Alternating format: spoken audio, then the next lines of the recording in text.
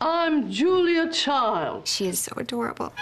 What if I cook my way through Julia Child's cookbook in one year and write a blog about it? Is it crazy? Yes. Butter.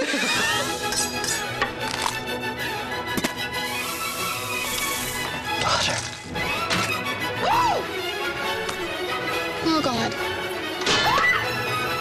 Is that mm. not the most wonderful thing you ever had in your life? Yes. Yes. The answer is yes. Julie and Julia. Bon appetit. Rated PG 13.